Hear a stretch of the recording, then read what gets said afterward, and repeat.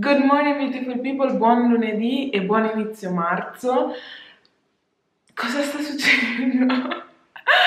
Nel senso che i mesi di per sé sembrano lunghissimi e non finire mai, ma poi alla fine siamo già marzo, cioè mi sembra l'altro giorno che ho festeggiato Capodanno, ma siamo già a marzo. Comunque, febbraio in realtà è stato un mese un po' strano e non particolarmente produttivo sfortunatamente, ma poi ve ne parlerò magari meglio nel video della challenge, che se non sapete di cosa sto parlando vi lascio il link qui sopra e nella description box per il 2020, dato che è il mese dei miei 30 anni ho deciso di fare una piccola sfida personale ogni singolo mese, quindi se volete restare aggiornati su, sugli sviluppi di questo progetto, ecco, cliccate il bottone iscriviti al canale.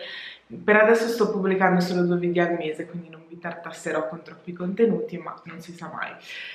Comunque, oggi invece facciamo un piccolo video coffee talk, in realtà è un video water talk, perché um, all'inizio del mese mi sono ammalata ho avuto l'influenza ed è stata un'influenza un po' strana onestamente, non mi era mai capitato di stare così male e per una settimana sono stata completamente knockout. Uh, sicuramente mh, mm, siete aggiornati sulla faccenda se mi seguite su, su Instagram. E, mm, quindi per tutta la settimana praticamente non ho bevuto caffè e um, non so se è una coincidenza oppure effettivamente è una cosa reale, ma eh, alla fine dell'influenza non avevo più male al collo. E se mi seguite da un po' sapete che io soffro di dolori eh, alla cervicale, di emicrania tensiva tantissimo, vado sempre dal fisioterapista dall'estate scorsa e nonostante ero migliorata non era mai sparito completamente. Da quando ho smesso di bere caffè, non dico che è sparito completamente, ma è diminuita del 90%. E, ehm, e, quindi niente, per un po' non sto bene, cioè ho deciso di non bere caffè almeno per, per il momento e vedere se questa cosa continua nel, nel, lungo periodo. Quindi oggi facciamo un water talk perché um, ho preso una tisana prima e quindi non mi andavo di, ripre di riprenderla. Um, in realtà oggi vi volevo parlare di un discorso che ho iniziato l'altro giorno nelle storie di Instagram, quindi ancora una volta se non mi seguite su Instagram vi consiglio di farlo se vi interessano questi argomenti perché diciamo lì prendo lo spunto e possiamo anche interagire tra di noi, mi potete fare delle domande o chiedere dei consigli e poi io da lì prendo spunto per creare questi video. L'altro giorno stavo appunto passeggiando, stavo in realtà aspettando che aprisse um, la farmacia e um, passeggiando per questa via ho visto che ultimi, nel giro degli ultimi mesi hanno chiuso tre punti vendita, quindi di, di piccole attività, non catene, eccetera, eccetera. E mi ero un po' agganciata al, alla situazione del coronavirus che eh, comunque ha creato una grandissima isteria e ho detto c'è in realtà un altro, un altro virus che sta affettando l'Italia. Affettando? Infettando che sta infettando l'Italia ed è quello che appunto porta i piccoli business a chiudere. Um, questa cosa in realtà è la motivazione per cui io ho iniziato questo progetto, perché vedevo delle piccole realtà uh, molto promettenti con un prodotto di qualità, un'idea originale, eccetera, ma nel giro di mesi o di un anno chiudevano e, e, quindi io non volevo che questo succedesse perché ovviamente um, un piccolo business è una persona che cerca di, di, realizzare un suo sogno. E il fatto che questo sogno fallisca o non possa diciamo vedere la luce del successo, toccare tantissime altre persone mi dispiaceva. E poi perché io faccio parte di una comunità, la mia città e, e, questi piccoli business la arricchiscono, la arricchiscono con la loro offerta ma la arricchiscono anche con la loro economia. Quindi era una cosa che proprio non mi andava giù e io ho scelto di fare questo percorso, di iniziare questo percorso proprio per questo motivo, per aiutare i piccoli business che hanno, o meglio, le persone che hanno scelto di eh, iniziare la loro attività, di... Um, avere il supporto e gli strumenti necessari per poterla far crescere, fiorire e per poterle dare una vita lunga e sana, ecco. E ehm, quindi da lì ho attivato la, il box delle domande e ho chiesto a voi, secondo voi quali sono le cose che impediscono ai piccoli business di crescere e che fanno sì che poi debbano chiudere bottega? E le vostre risposte sono state molto interessanti. Come ho detto nel, su Instagram non ci sono risposte sbagliate o risposte giuste, ma solamente punti di vista che appunto volevo ascoltare per iniziare una conversazione. Uh, quello che spesso accade in queste situazioni è che si trova la responsabilità uh, all'esterno. Lo facciamo sempre perché non ci vogliamo sentire completamente responsabili del fallimento di qualcosa, anche nel nostro piccolo quotidiano. E quindi molte risposte erano appunto, sono, me le sono trascritte, erano appunto il la troppa burocrazia, gli affitti troppo alti, um, un, um, il fatto che le persone non... Eh, la frase che mi è stata inviata è stata non, fanno, non pensano a far girare l'economia ma solamente alla comodità di ordinare da casa. Eh, dopo approfondiamo il discorso. Poi un'altra... Um, uh, Un'altra risposta era che la gente preferisce prodotti economici piuttosto che prodotti di qualità. Um, più o meno, diciamo, queste erano, queste erano le risposte, una declinazione di queste. E poi c'era un'altra parte che ha, ha fatto osservazioni del tipo mh, si ha paura del cambiamento, uh, c'è poca preparazione, poca originalità. Allora, Uh, trattiamo appunto un attimo il tema della responsabilità. Uh, il tema della responsabilità è molto importante perché se noi um, mettiamo la responsabilità del nostro successo al di fuori di noi stessi, non possiamo controllarlo. Quindi non possiamo, uh, se la burocrazia è tanto e gli affitti sono alti, noi non possiamo controllare direttamente questi fattori e quindi saranno sempre un fattore negativo che ci impediranno di avere successo se secondo noi la responsabilità del nostro successo sta in questi punti. Quello che invece mh, occorrerebbe fare è darsi la totale responsabilità del successo del nostro business, anche perché uh, un business che apre adesso, quindi un piccolo business che apre nel 2020, ehm, è al corrente, almeno dovrebbe essere al corrente della burocrazia che c'è, eh, degli affitti e quindi basare su di, queste, su di esse anche le scelte che poi fa per attivare l'attività, i prezzi che decide di fare, il numero che, di clienti che si propone di avere per riuscire a stare dentro i propri costi, eccetera, eccetera. Quindi Dire che un business fallisce perché gli affitti sono alti o la burocrazia è tanta è un po'... Um, non so se dire che è sbagliato, però diciamo che è un mindset sbagliato, perché tu da imprenditore, da proprietario di una piccola attività, dovresti essere a corrente di tale, co- di tale cose e um, lavorare in funzione di esse.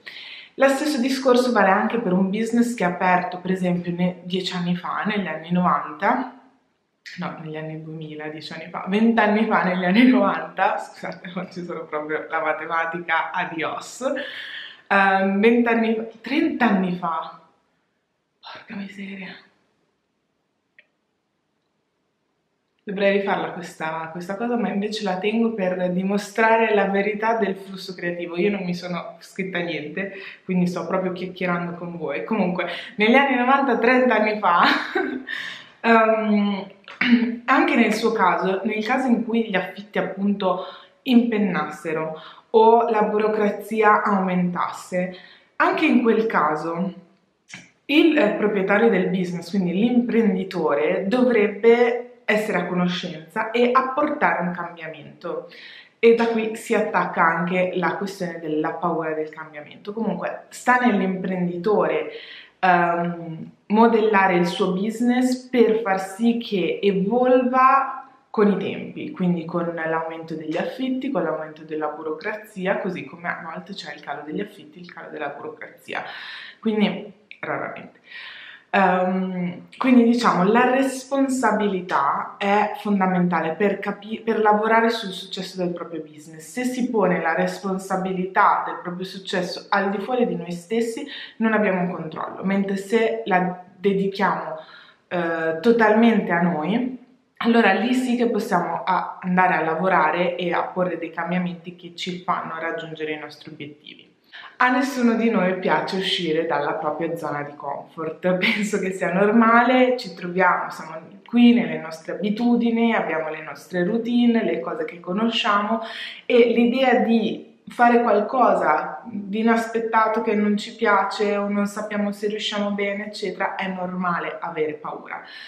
La domanda però è, Uh, questa paura del cambiamento, il non uscire dalla nostra zona di comfort, quanto ci costa?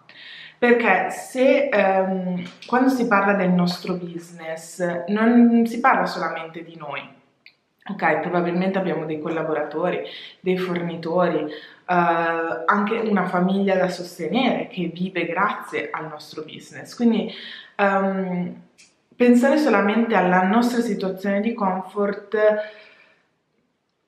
mi lancio a dire che è un po' egoistica come cosa, ma non nel senso negativo, perché lo so che è un riflesso, lo faccio sicuramente anch'io in tantissimi uh, in tantissime situazioni. Però ecco, avere la visione che il non uscire dalla nostra zona di comfort quando si tratta del nostro business può precluderci una crescita che va a impattare non solo la mia vita e quindi dire no, è scomodo per me, quindi preferisco non farlo, ma va a impattare tantissimi altri fattori. E poi appunto ci può precludere una crescita. È chiaro che uh, uscendo dalla nostra zona di comfort possiamo anche sbagliare, possiamo anche fare un passo che ci porta uh, uno step indietro. Questo è possibilissimo però potrebbe anche portarci uno step in avanti e quindi provare, tentare, specialmente su delle cose che hanno un livello di rischio molto molto basso, mh, mm, probabilmente ne vale la pena, ecco, questo, questo è il discorso. Quindi um, e probabilmente la nostra paura di cambiamento dipende anche dal fatto che molto spesso non ci sentiamo padroni di quel cambiamento che vogliamo andare a portare, non sappiamo da che parte iniziare, non, non conosciamo la materia, ehm, non abbiamo idee per portarlo ehm, alla vita questo cambiamento. Ecco, qui eh, secondo me questo è un punto molto importante perché tendenzialmente il piccolo business o la persona che si crea da sé, che crea da sé la propria attività, e mi ci metto dentro anch'io perché anch'io sono così, tende a vedersi come un'unica persona che deve riuscire a fare tutto. Quindi ehm, devi saper fare questo, se non lo fai lo devi studiare da sola, um, non puoi chiedere aiuto a nessuno, eccetera, eccetera. In realtà non è così. Uh, per fortuna, nel senso che uh, anche se noi siamo da soli nella nostra attività, ci sono tanti professionisti che sono appunto specializzati in quella cosa, in quella materia e che ci possono um, dare una mano dare una mano per implementarla, dare una mano per capirla e quindi poi esserne padrone anche per poter gestire qualche piccole cose uh, in modo indipendente. Per esempio io con i miei percorsi eh, di consulenza faccio proprio questo, cioè mi affianco al piccolo business, che, al piccolo imprenditore ehm, che è in un momento in cui magari vuole apportare un cambiamento, grande o piccolo che sia, e assieme troviamo un percorso per farlo, troviamo gli strumenti giusti per implementarlo, se c'è da spiegare un determinato processo glielo spiego in modo semplice con un linguaggio che possa capire. E, e poi dopo cerchiamo di... Um, rendere questa persona indipendente, cioè del fatto che riesca in modo indipendente a identificare i fattori di rischio, identifica- identificare i fattori critici e a implementare in un secondo momento un nuovo processo di risoluzione. Ecco, quindi mm, il fatto di voler fare magari sempre tutto da soli, tutto in modo indipendente, senza chiedere mai aiuto, Um, anche questo ci porta poi dopo a una situazione di fallimento perché non possiamo essere esperti in tutte le materie. Um, è difficile anche prestare attenzione a tutte le cose che ci sono da fare perché se tu vendi scarpe tu sei brava a vendere scarpe, a trovare i fornitori giusti, a um, capire le tendenze eccetera eccetera non è detto che tu sia capace di crearti un tuo sito web, creare dei contenuti, um, creare una strategia social, non è detto neanche che tu sia brava a comunicare con i tuoi dipendenti e quindi queste cose mh, mm, però provocano una reazione a catena che se tu non te ne prendi cura, non te ne prendi cura nel modo giusto, poi a un certo punto rompono il sistema. Quindi avere una persona esterna che ti aiuta a vedere le cose da una prospettiva diversa, ti aiuta a, a, mettere in pratica dei sistemi che poi ti permettano di migliorare la tua situazione, di gestire meglio le, le tue task quotidiane, può aiutarti ad avere un business che funziona molto meglio e che ti rende poi dopo alla fine molto più libera di concentrarti su quelle che sono effettivamente le cose che ti piacciono e che sei brava a fare. L'ultimo punto di questo coffee talk lo voglio dedicare all'ultima risposta che in realtà mi ha inviato la mia amica Viola, ehm, che mi ha detto che ehm, conosce due realtà che avevano una selezione di prodotti bellissimi, fantastici e ehm, ho anche una bella presenza social, digital con un bel sito eccetera eccetera, ma che poi sono fallite. E quindi mi chiedeva come mai, cioè non, non riesco a capire ehm, perché? Perché questo è successo? Allora, innanzitutto è difficile capire punto, esternamente, quando si è esterni ad una situazione, se una presenza digital sia effettivamente efficace e um, buona e ottima, impostata correttamente per riuscire a sostenere l'obiettivo finale dell'azienda. Ne ho parlato qualche giorno fa su, su, Instagram sulla differenza di crescere sui social e crescere grazie ai social. Um, perché appunto crescere sui social potenzialmente potrebbe essere anche abbastanza facile, nel senso si creano dei bei contenuti, la gente inizia a seguirsi, ha un bel profilo, eccetera, eccetera. Ma convincere queste persone poi ad acquistare i nostri prodotti e servizi è tutto un altro discorso. E quindi bisogna vedere se effettivamente la strategia che questi punti vendita, punti vendita, punti vendita avevano creato, messo, messo in atto, era effettivamente finalizzata alla, a poi portare l'utente una volta che aveva interagito con vari contenuti puoi portarlo sul sito web per acquistare i loro prodotti e servizi. E poi ancora se eh, una volta acquistati i loro prodotti e servizi c'era un sistema messo in atto per uh, fidelizzarli quindi per convertirli nuovamente in clienti eccetera eccetera sono tutti dei sistemi che non si vedono noi dall'esterno non vediamo e che però sono importanti perché altrimenti è come buttare tantissima acqua in, un, in uno scolapasta, quindi in un contenitore bucato. L'acqua entra, entra, entra, ma esce tutta e non, non, non, si raccoglie niente, non si raccolgono risultati. Un altro punto a cui bisogna prestare molta attenzione in questa situazione è il messaggio che si dà eh, e anche il processo d'acquisto. Per esempio uno dei due punti che mi erano stati inviati era la questione della gente preferisce acquistare in comodità da casa piuttosto che far girare l'economia e quindi acquistare il negozio, a parte il fatto che l'economia tecnicamente gira anche acquistando online perché online non si acquista solo su Amazon ma si può acquistare anche da piccoli business. Um, ma l'idea della comodità effettivamente al giorno d'oggi l'utente medio cerca una comodità perché abbiamo meno tempo a disposizione, um, siamo anche ad abituati ad avere le cose sempre più velocemente. Pensate solamente al computer. Quando io uh, avevo il mio primo computer, uh, il tempo di accenderlo potevo farmi il caffè, fare la merenda, fare i compiti, leggermi un libro, eccetera, eccetera. E anche quando facevo una richiesta, accedevo ad internet, passavano un paio di minuti e la cosa non mi disturbava più di tanto perché ero abituata a quello. Adesso se una, una pagina si carica, una pagina web si carica in meno di un nanosecondo, già ci già sbuffiamo, già ci stressiamo, ah non funziona niente, eccetera, eccetera.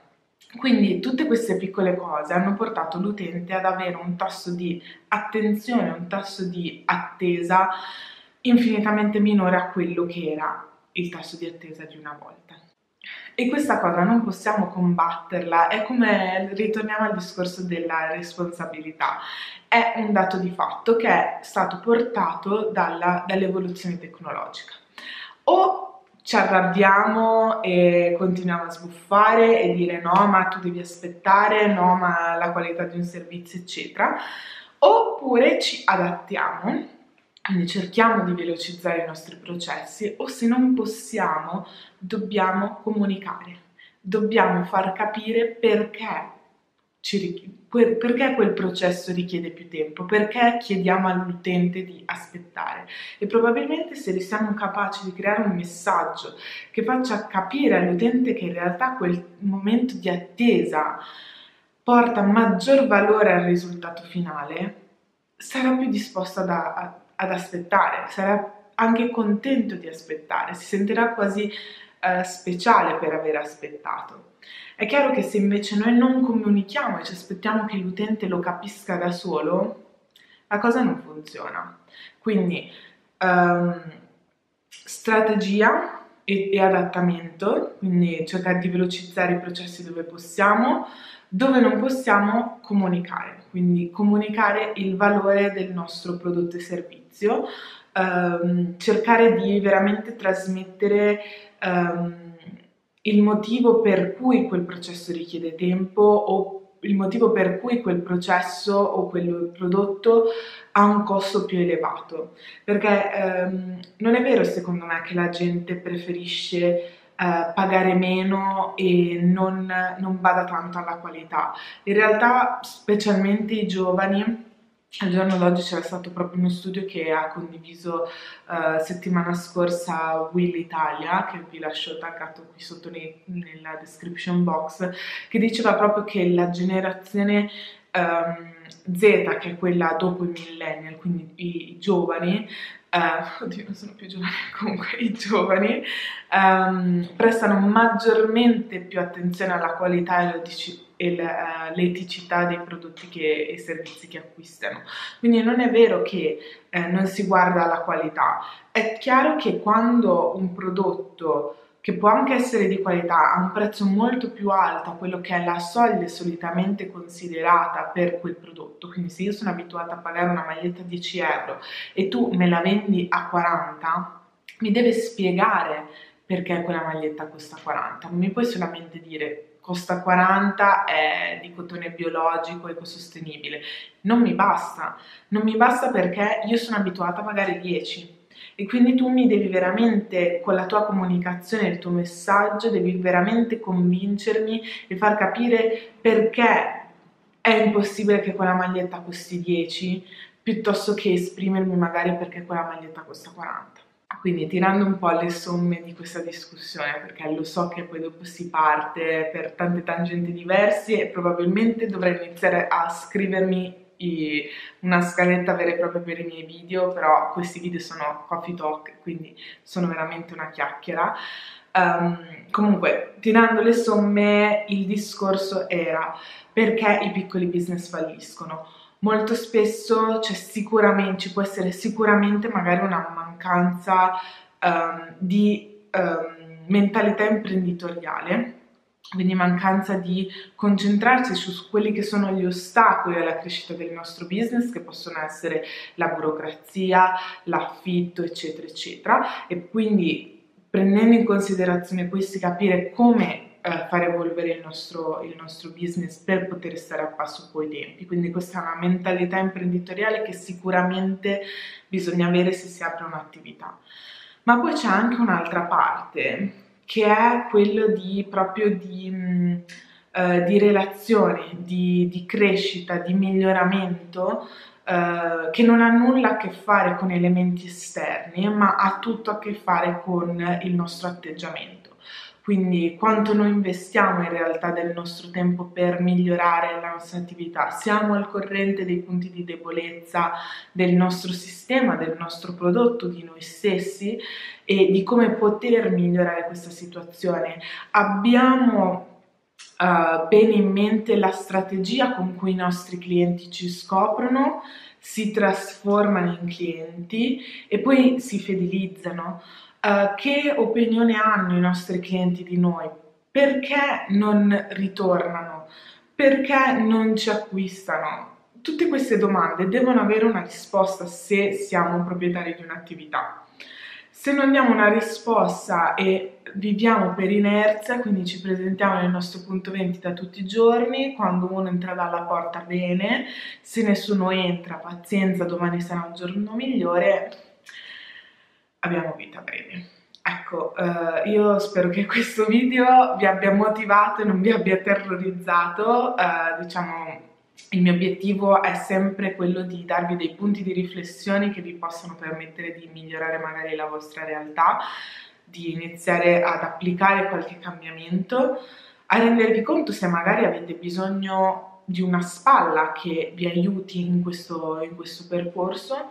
E, um, e assolutamente quello non è quello di terrorizzarvi e di dire che siete cattive persone, assolutamente no, si può sempre migliorare e anche quello di essere un imprenditore, avere una piccola attività, ma anche un freelance.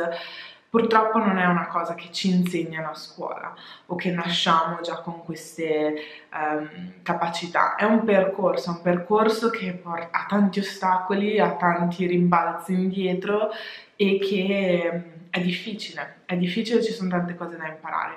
Quindi um, se anche siete in una situazione in cui non avete abbastanza clienti o ne avete persi oppure siete un po' in una situazione di plateau in cui non crescete più ma avete bisogno di crescere, sappiate che c'è sempre qualcosa che voi potete fare. L'unico modo è avere un mindset positivo, che quindi non inizi a piangersi addosso dicendo ah, è colpa del governo, è colpa degli affitti, ma dire ok, governo e affitti sono lì, eh, io lì non ci posso fare più niente se non votare le persone giuste, magari vedere se quella location è giusta per me o posso fare, mh, spostarmi da qualche altra parte. Per il resto è cosa posso fare io, cosa posso fare io attivamente per cambiare quella situazione. È tutto a posto? Non è mai tutto a posto? Oppure c'è qualcosa che posso migliorare? Io vi saluto e vi ringrazio per avermi dedicato questi tanti minuti perché questo video era abbastanza lungo. Io vi saluto, vado a bere un goccio d'acqua perché ho la gola secca e poi mi metto al lavoro. Ciao!